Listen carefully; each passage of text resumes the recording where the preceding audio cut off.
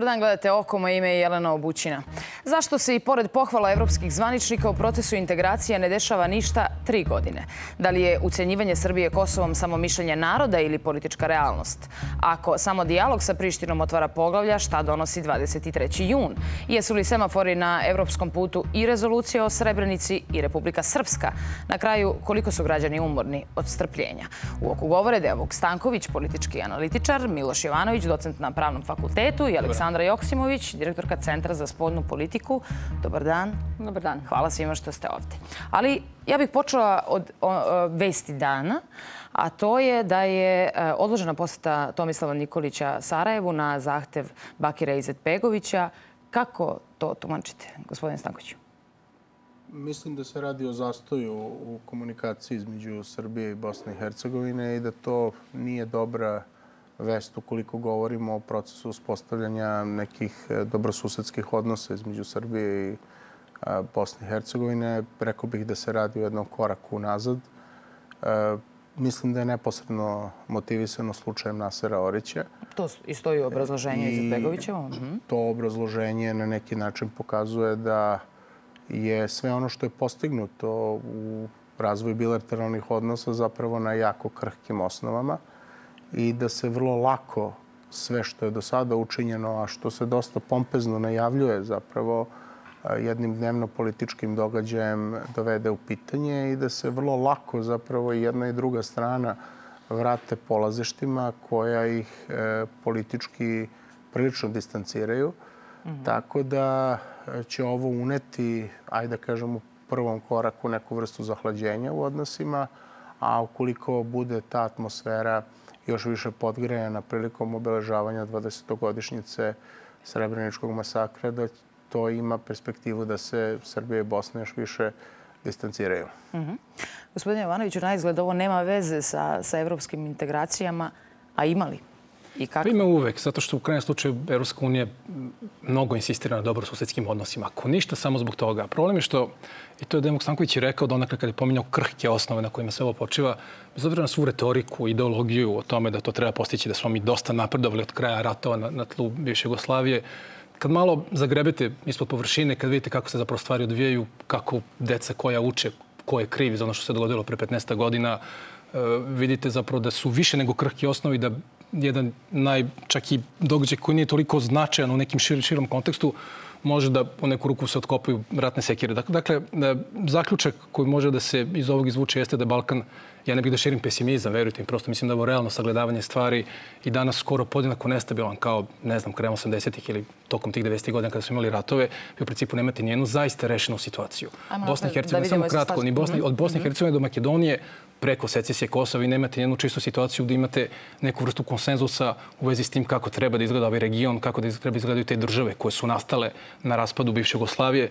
Tako da ponavljam, izuzetno krhka i nestabilna situacija i kažem, ne bi ponekad bilo loše i može to i dobar, dobra stvar u ovom, u ovom primjeru i ovom događaju da nas podsjeti da stvari, kažem, nisu uvek tako kako bismo mi možda želeli ili kako nam se predstavljaju da jesu. Aleksandra, najprije se slažete i sa ovom e, tezom, a potom i stiglo je obrazloženje iz kabineta predsednika države da će otići e, u onom trenutku kada ga svi članovi veća budu pozvali. Evidentno da sada Izetbegović nije, nije ovaj, e, na tom spisku. Pre svega bih htjela da kažem da je Srbija mnogo učinila u poslednjem periodu za regionalnu stabilnost i za razvoj regionalnih odnosa, naročito kada govorimo o odnosima sa Bosnom i Hercegovinom. Ja moram da podsjetim da od trenutka kada je premijer Vučić e, preuzeo funkciju, prva spoljno-politička poseta koju je učinio bila je poseta Sarajevo i ta poseta je zapravo bila izraz dobre volje da e, se e, politički korektan način komunicira sa Sarajevom. Mm -hmm. I to je bilo nešto što je međunarodna zajednica od Srbije očekivala i to je bilo nešto što je apsolutno na takav način i pozdravljeno. U ovom trenutku vidimo da i predsjednik Nikolić ima nameru da ode u Sarajevo. Ono što je evidentno da je da u ovom trenutku zaista postoji jedan uh, ozbiljan politički trenutak u kojem bi trebalo izbeći da ta poseta odmogne daljem razvoju, razvoju međusobnih odnosa, umesto da napravi nekakav doprinos. Znači, imamo nekoliko osetljivih tačaka koje se u ovom trenutku dešavaju. Dakle, imamo obeležavanje 20 godina Srebrenice. Svake godine kada se dešava obeležavanje ovog strašnog mhm. zločina, znači, uzburkaju se političke strasti, pre svega u da Bosni, ali... ode, recimo premijer. I samo bih htjela još jednu stvar da kažem, mhm. da u ovom trenutku naravno postoji i jedno uznemirenje u međunarodnoj zajednici, obzirom na najavljenje referendum od strane Milorada Dodika u Republici Srpskoj. Prema tome, znači, celokupna situacija u Bosni i Hercegovini u ovom trenutku se na određen način procenjuje kao, kao relativno nestabilna. Ajde sad da razgovaramo o tome. Znači, ka, nakon otkazivanja ove posete, eventualni odlazak nekog od naših zvaničnika, bilo to premijer ili bilo ko drugi, da li je ona teža ili lakša da se pojavi u, u Mislim da se još uvek ozbiljno razgovara i razmatra mogućnost da se neko od zvaničnika pojavi. Biće to ozbiljna politička odluka. Ona će u mnogome zavisiti i od formata na koji način će čitav skup izgledati i kakvu mesto i ulogu će imati neki potencijalni predstavnik Srbije koji će se u Srebrenici pojaviti. Dakle, -hmm. Evidentno je da je međunarodna javnost značajno fokusirana na obeležavanje ovog zločina koji se smatra evidentno jednim od najvećih u, u, u skorijoj istoriji.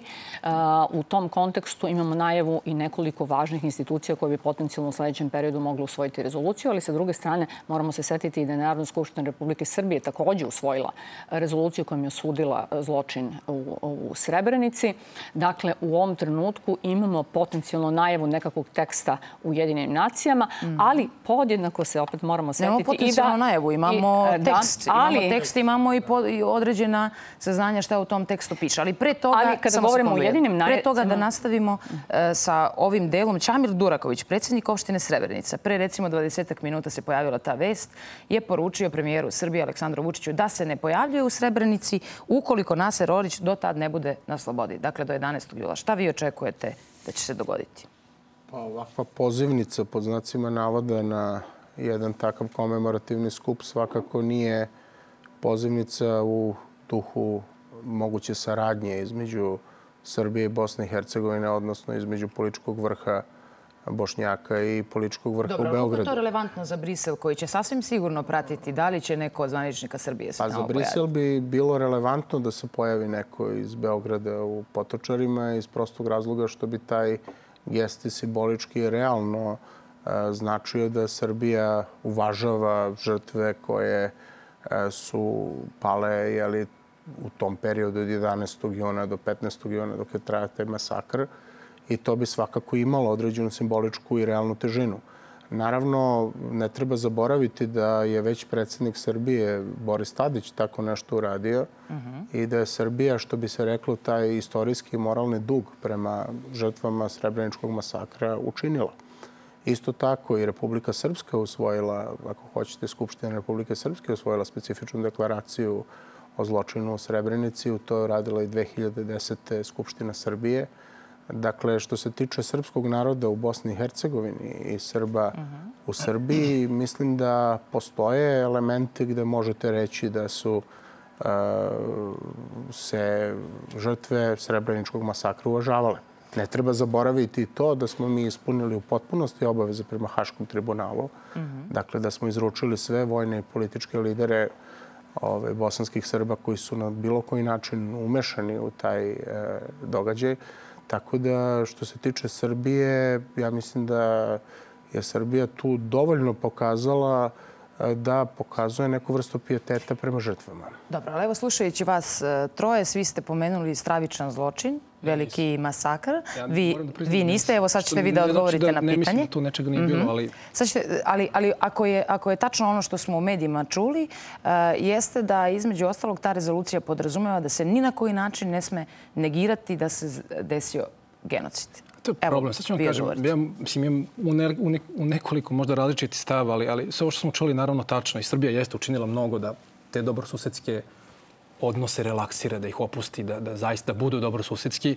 Opet, s druge strane, mi nekako nikad ili zaboravljamo da kažemo da za dobrosusedske odnose to je dvosmeran proces. Dakle, potrebno je da neko s druge strane nešto kaže. Pazite, mi živimo u situaciji kada Srbija jeste donala i deklaraciju o Srebrenici i Republika Srpska, kada, kada smo izrazili pjetet i šta god treba prema žrtvama i donekle čak neke krivice naše tako. Do, mm -hmm Ali, s druge strane, recimo, te dobro, dobrosusedski odnosi Hrvatska je priznala secesiju Kosova, Crna Gora takođe. Hrvatska se sprema da proslavi godišnjicu Oluje, dakle kada je 300.000 Srba proterano mačem iz Hrvatske. Dakle, nema takvih poteza sa druge strane i to nešto o čemu ipak čini mi se treba voditi računa, bez obzira na našu dobru nameru, iskrenu nameru, kako god da je nazovete, koja je vjerojatno delimično iskrena, delimično instrumentalna u toliko što imamo taj evropski put i evropljani traže, dakle Evropska unija traži to od nas. Dakle, tu bih ipak podsjetio na to činično stanje da koje u osnovu pokazuje da ti dobrosusedski odnosi zapravo za sada počivaju samo na srpskoj volji, mnogo manje na volji tih upravo susednih država. A što se tiče Srebrenice, E, ja nisam rekao stravičan zločin, tu je očigledno došlo do zločina, nema nikakve dileme. E, ako ćemo iskreno, e, i danas se mnogi ljudi spore u vezi s tim šta se tačno tamo dogodilo. Naravno, ja time ne želim da opravdam bilo šta. To je bio rat sa mnogo zločina počinjenih na svim stranama i prema Srbima i Srbi su počinili zločin prema drugim narodima. To, to, to je, ponovim, pričam banalne stvari, dakle, krajnje mm -hmm. nesporna stvar. Ali, ali prvo, pravna kvalifikacija tog zločina kao zločina genocida apsolutno ne stoji. To vam govorim kao docent pravnog fakulteta, dakle neko ko je pisao članke na tu temu. I to su čak i neke sudije tog suda, su Međunarodnog suda pravde, ajde nekim privatnim razgovorima, evo sad nije pretredno elegantno što to govorim, ali su isto potvrdili. Dakle, ali ono što zvanično postoji jeste njihova jeste, presuda ali... da SFRJ nije uradila ništa da spreči genocid. Da, ali to sve to drugo, ne SFRJ, nego, nego SRJ. SRJ, pardon, pardon. SRJ, što smo mi naravno slavili kao pobedu i što, što jeste neka vrsta dobitka u tom, u tom sporu. Ali, ali činjenica da se to kvalifikovano genocid zaista je sporna. I samo, samo kratko, koliko je to nonsens, da ulazim u pravničke detalje o tome šta je mm -hmm. definicija genocida, kako se tumači i tako dalje. U tom istom sporu, dakle, Međunarodnog suda pravde BiH protiv SRJ, za povredu konvencije o genocidu je sud našao da u ne znam koliko, 10, 20, 30 mesta u Bosni i Hercegovini kada su počini zločini prema muslimanima iz BiH, nije bilo genocidne namere, te nije bilo genocida, a u srebreničkom slučaju jeste. Dobro, Problem s tom logikom što... Dobro, govorimo o Srebrenici kao hoće, o tome koliko je važna za evropski put. Ali zašto to ne može biti genocid? Genocid mora da podrazumeva po definiciji genocidnu nameru. Nije ili bilo ili nije bilo. Dakle, ne može da je ne bude u 30 slučajeva gde su počinjeni zločini, a da bude prisutna samo u Srebrenici. Dakle, hoću vam kažem, to nije genocid i zato je vrlo, vrlo uh, škakljivo i delikatno to pitanje koje se pominje u medijima da u rezoluciji žele da stave da se osuđuje svako negiranje tog zločina kao zločina genocida. A na koji način će nas obavezivati ukoliko se rezolucija usvoji na Savjetu bezbednosti Ujedinih nacija? Pa neće, gledajte, rezolucije Savjeta bezbednosti su pravno obavezujuće samo kad su donete po osnovu sedme glave, dakle ugrožen mir i bezbednost. Ja ne znam tačno ko će biti procedura za donošenje ove rezolucije. U principu ona ne bi trebalo da obavezuje, ali recimo može da se desi vrlo lako da one ideje koje su se već pojavile 2008. godine, koje su počivale na tome da treba recimo doneti zakonodavstvo u Srbiji kojim će se kažnjavati svaki, svaki revizionistički stav ili negiranje zločina u Srebrenici kao zločina genocida.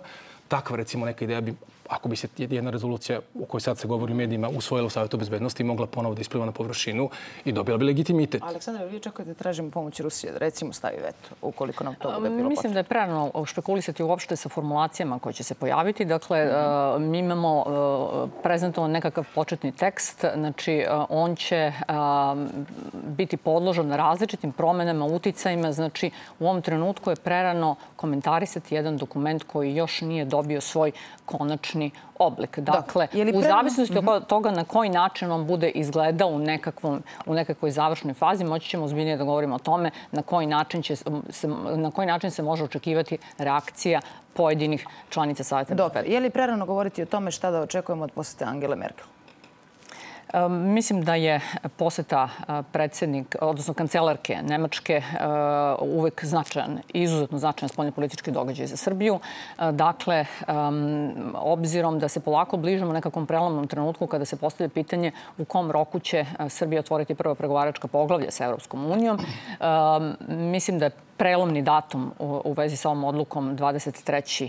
juni, jer postoji objektivna šansa i mogućnost da pojedine tačke iz neophodnih u vezi sa implementacijom brislavskog sporazuma do 23. zapravo na određen način budu rešene. Dakle, zna se otprilike koje su to one ključne tačke koje bi... Zna se tačno koje su ključne koje tačke. Aha, hoćemo odmah o ključnim tačkama. Zajednica srpskih opština, telekomunikacije, odnosno pozivni broj, energetika, energetika odnosno gazivode e, u, u, u fokusu i, I Park, Park Mira, Mira odnosno je, most na Ibru. I mislim, to je, mm -hmm. to je set pitanja koji već dugo stoji, stoji na stolu. Znači, ne postoje nikakvo iznenađenje u vezi sa tim šta se očekuje e, da bude implementirano u vezi sa briselskim sporazumom. Dakle, postoje jedan e, realan zastoj, zato što prošle godine nismo od, od tri strane u pregovaračkom procesu, znači Beograd, Brisel, Priština. Dve zapravo u političkom smislu nisu bile funkcionalne tokom prošle godine. Dakle, zbog unutrašnje političke krize na Kosovu gotovo čitave godine nije postoje pregovarač sa njihove strane. U tri reči, tako... šta očekujete od posete Angela Merkel? Ajmo kratko, da očekujete da čujemo, da, posle ovoga ćemo dobiti otvaranje poglava ili očekujete da čujemo neki novi uslov? Dakle, ja očekujem da 23. rešimo određene probleme koji se odnose na implementaciju briselskog sporazuma. Pa da, Angela Merkel samo se toliko desi, to će biti ozbiljan dalji prodor u, u odnosima sa, sa Evropskom unijom i evropskim mm -hmm. integracijama, obzirom da je Nemačka ta koja taj proces predvodi i koja o tome u ovom trenutku u političkom smislu značajno utiče i odlučuje. I odlučuje. Gospodine Stankoviću, kako moraju da se reše sva nabrojena pitanja da bismo mi mogli da čujemo vest otvaraju se poglavlje? Pa treba se postigne dogovor. E, sad, kako će se postići dogovor, to je stvar detalja e, koje znaju ljudi koji neposredno o tome pregovaraju. Jako je teško spekulisati o tome. Dakle, sigurno je da e, će morati da se pronađu kompromisi oko telekomunikacija, oko energetike. Mislim da je to jezero Gazivo da je jako komplikovano s obzirom na njegovu geografsku konfiguraciju. Dakle, jedan deo tog jezera, veći deo, ja mislim, dve trećine čak pripada teritoriji Srbije po toj administrativnoj e, liniji. Dakle, to nije tako jednostavno uključiti u energetski sistem Kosova, a da ne ulazite u srpsku teritoriju, barem po toj administrativnoj liniji. Mislim da je dosta delikatno i to pitanje mosta i tog pa, parka mira i prijateljstva, kako se to zove ovaj, u, u Kosovskoj Mitrovici. Mislim da tu može da bude jako puno komplikacija s obzirom na etničku podeljenost tog grada i na sklonost ka nasilju koja je demonstrirana više puta.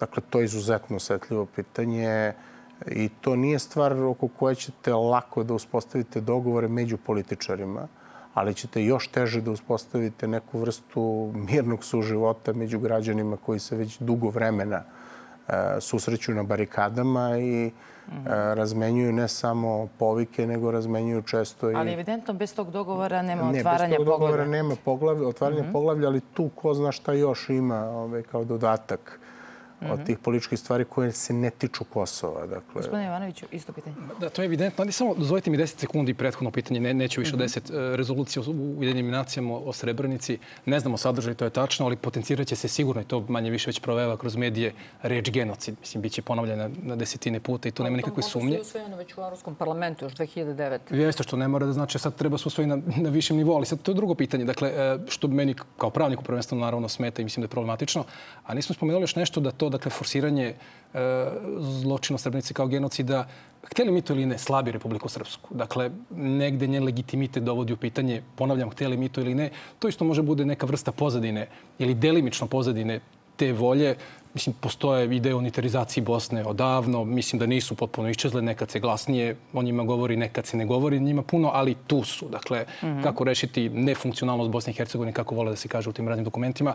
Uglavnom, ono što bi Zapad najviše volio da vidi, to je neku vrstu unitar, unitarne Bosne pre nego Ali ono što bi Zapad volio da vidi, ako je tačno, ono što čitamo jeste da nikako zajednica srpskih opština ne bi trebalo da e, potiče na Republiku pa Srpsku. Pa dobro, uh, ali gledajte, me to ne čudi. Mi stalno pričamo, uh, pominjala se u medijima ucene Angele Merkel i Evropske unije. Ja to čak ne bi nazvao ucenama.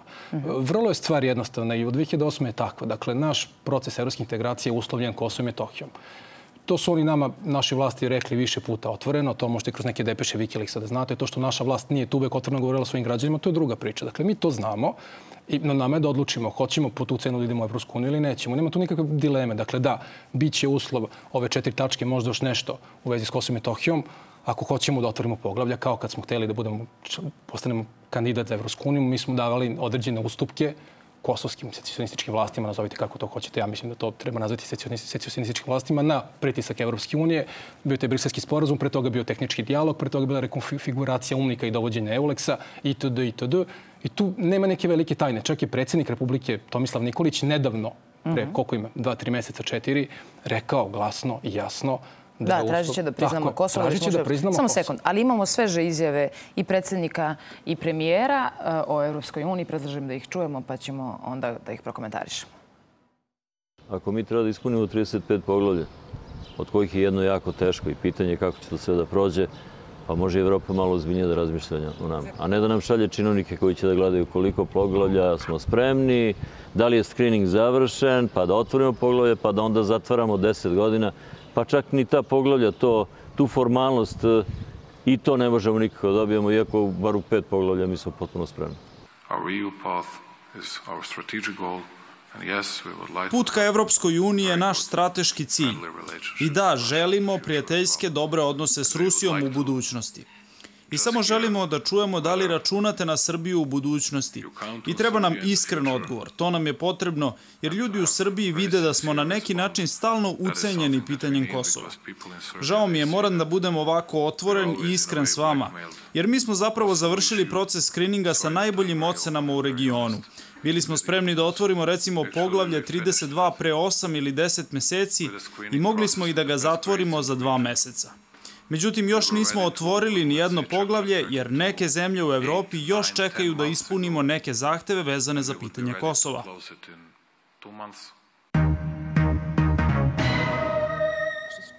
Te vi prvo da, da, da prokomentarišemo poglavlja. Uh, jesmo li spremni za koliko poglavlja i kako tumačite ovo o čemu su govorili predsjednik Potpuno jasno u ovom trenutku da je Evropska unija spremna da otvara prva poglavlja sa Srbijom kao poglavlja 23, 24 i 35 onog trenutka kada se ispune preduslovi o kojima smo već govorili, znači implementacija briselskog sporazuma. Znači, prva poglavlja koja će vjerojatno istovremeno biti otvorena su ova tri.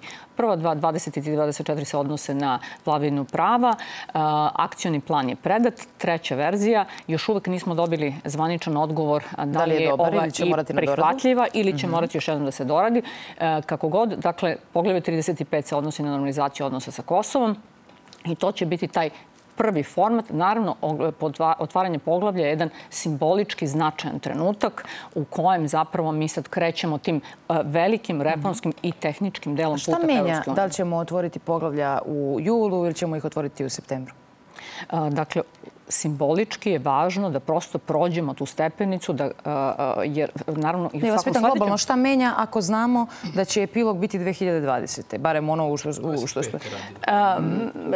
Dakle, što brže ulazimo u mhm. reformske procese, to ćemo se brže menjati kao društvo, to ćemo se brže približavati evropskim standardima, a u krajnjem slučaju, znači ono što je za nas ekstremno važno je i da ekonomski napredujemo, znači čitav pregovarački proces i odnosi sa Evropskom unijom nam obezbeđuju i nekakav oblik politike ekonomskog razvoja.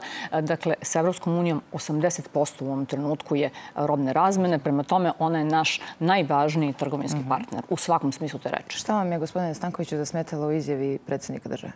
Ništa.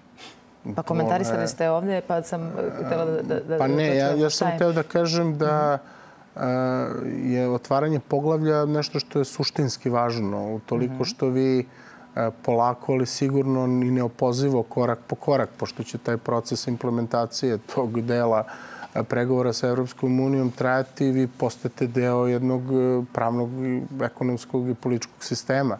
Uh mhm. -huh. Dakle, kako ta poglavlja budete e, zatvarali, tako će u stvari kod vas u pravom smislu te reči važiti ne samo norme, nego i prakse koje važe u Evropskoj uniji. Dobro, kako ste vi razumeli ovu premijerovu izjavu da nas ucenjuju Kosovom? Ko i kako nas ucenjuje Kosovom? Čini mi se da je on kasnije imao jednu ogradu da je govorio mišljenje naroda. Ali da li je govorio i o političkoj realnosti, kako tvrdi gospodin Jovanović? Pa ja mislim da je e, ključna stvar kada govorimo o Kosovu ta da Srbija ako želi da se integriše u Evropsku uniju, treba Kosovo da stavi u kontekst evropskih integracija, što znači da treba da normalizuje odnose sa Kosovom. Ako ćemo da govorimo o duhu tih planova i onoga što je zapravo na stolu ako govorimo o međunarodnoj zajednici, onda je to usvajanje dva dokumenta koja zapravo predstavljaju neki presek toga kako Zapad to vidi. To su Višingerov plan koji podrazumeva da Kosovo i Srbija imaju odnose nalik na dve Nemačke u vreme hladnog rata i to je plan Martija Tisarija.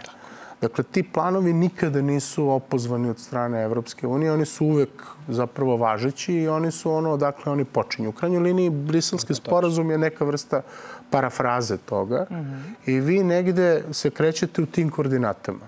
I ono što je nesumnjivo je da ako želite da uđete u e, Evropsku uniju. Evropska unija želi da obuhvati čitav ovaj region, ne samo Srbiju. Možda ona ima individualni pristup svakoj zemlji koja još uvek nije postala član, ali u nekim dugoročnim planovima e, želi se integrisati čitav region. To znači da odnosi između naroda i država treba da budu pacifikovani.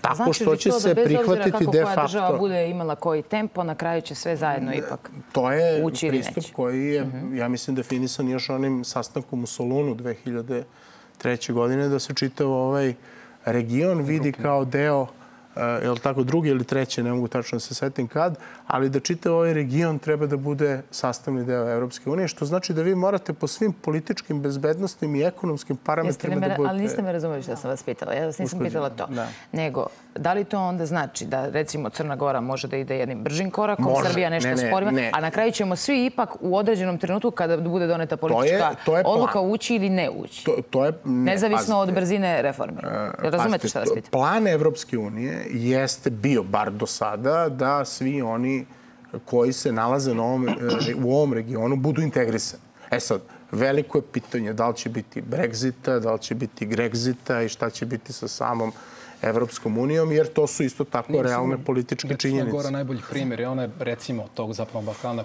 koliko toliko i najstabilnija država. Kad već stavljate kad treba davati primjer, možda Bosna i Hercegovina, Makedonija, Srbija, -hmm. dakle te države naravno sa, sa, sa Kosovom kao južnom pokrenom ili, ili kako god sad Evropska unija ili većina članica Evropske unije na Kosovo gleda kao nezavisnu državu, Državno, naravno. Dakle, pre bi se onda to vaše pitanje i odgovor da bi se grupno ušlo odnosilo na tih koliko sam naveo, tri i po zemlji. Tri i po zemlji, dobro.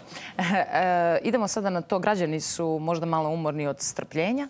E, da vidimo kako stoji podrška e, građana Srbije Europskoj uniji. Nataša Đulić-Banović. Topili se podrška građana Srbije evrointegracijama. U organizaciji čiji je posao da iz meseca u mesec beleži mišljenje građana, pa i ono kako bi se opredelili u slučaju referenduma za članstvo u Evropskoj uniji, kažu da je od septembra prošle godine procenat evroskeptika skočio sa 26 na 36 procenata. Podrška EU integracijama se kreće negde oko 50%. I tako je već, to je, rekao bih, neko novo ravnotežno stanje od trenutka kad su ljudi se prvi put suočili sa tim da Kosovo može biti jedan od uslova za početak EU integracija Srbije. Dakle, u tom trenutku kad se prvi put počelo dogovoriti, govoriti o tome, imali smo jedan pad sa nekih 70%, koliko je u tom trenutku pada na ovih 50%. Međutim, to je sad novo ravnotežno stanje i mi beležimo iz meseca u mesec oscilacije za koje bih rekao da pre svega utiču na to kako naša politička elita interpretira događaje vezane za EU integracije. Ako naši političari kažu da je problem to što još uvek nismo počeli i otvorili neka poglavlja, da je to nepravda za Srbiju, to naravno pogoduje onima koji se inače protive EU integracijama ili onima koji se kolebaju da u tom trenutku kažu ipak u ovom trenutku ne bi. I obrnuto. Na primer, bitnije oscilacije su se u istraživanjima javile posle vojne parade i posete Vladimira Putina. To je dalo vetar u leđe onima koji su za pristupanje Evropskoj uniji, jer tada je poslata poruka prijateljstva sa Rusijom i nedvosmislene opredeljenosti za put ka Uniji. Da li bi otvaranje poglavlja ili suprotno bitnije promenili statistike? Otvaranje poglavlja sigurno će uticati pozitivno na rast EU podrške, ali opet kažem, pitanje je na kom nivou će ona ostati i koliko dugo će ostati. Ono što je najzanimljivije, a što pokazuje ova istraživanja, je svakako to da nije uvek svaki evroskeptik protivnik članstva u Uniji. Čak i ako kaže da mu nije na listi omiljenih, na referendumu bi verovatno glasao za, verujući da je ipak bolje biti član jedne veće organizacije. E, jako malo vremena imamo u dve reči šta je ključno u narednih nekoliko meseci? Rad, red i strpljenje. Ja bih rekao da je ključno da konačno se povede u ovoj zemlji debata o tome šta su dobiti koristi, a šta bi bili negativne one strane evropskog puta Srbije. Od 2000. pa do danas e, svi izbori su dobijeni na ideje Evropske unije. To mislim da najbolje govori o podršci građana ovoj ideji i ja se nadam da ćemo poglavlje otvoriti brzo. Hvala lepo. Hvala vam puno što ste bili gosti. Hvala i vama. Ostanite uz RTS.